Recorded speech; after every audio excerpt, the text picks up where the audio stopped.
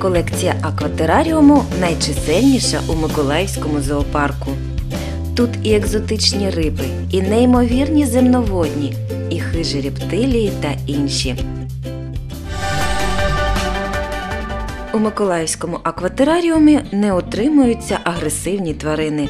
Із більшістю, крім, звісно, крокодила, працівники зоопарку контактують безпосередньо і вважають своїх підопічних дуже розумними і слухняними. Хоча чимало людей до цих істот ставляться з упередженням. До того ж, існує думка, що цікавіше спостерігати за більш рухливими істотами. Спробуємо її спростувати і заради цього зазирнули до цієї маленької оази.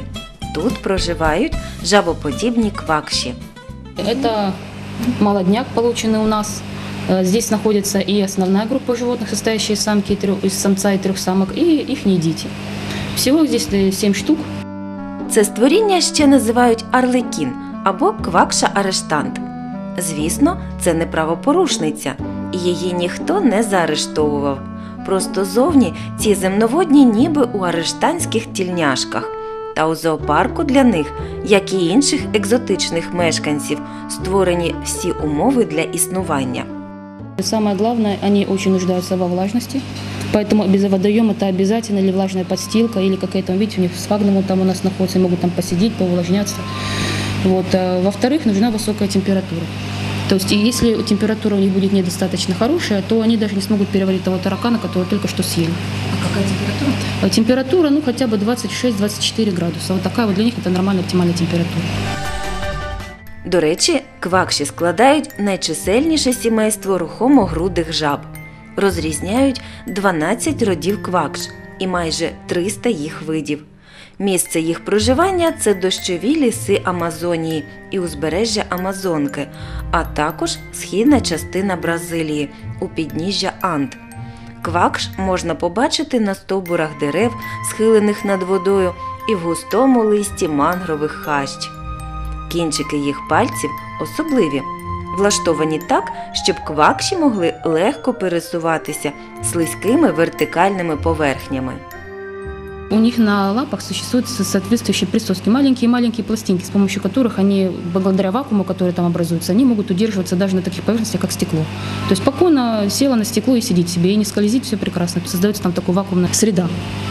То же самое можно наблюдать у рептилий, то есть э, некоторые животные, такие как вот ящерицы, у них очень много такого тоже есть.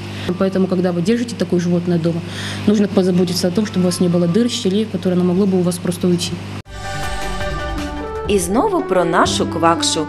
Харчуються ці земноводні тим, що упіймають. У їх раціоні комахи, ракоподібні тощо. У зоопарку для маленьких арлекінів поживний обід за розкладом.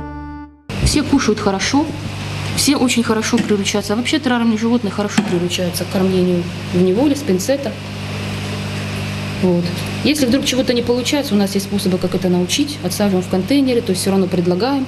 В конце концов, они все берут. Здесь группа животных, которая вся кушает вот так вот таким образом. Вот, э, мне они очень нравятся, замечательные животные.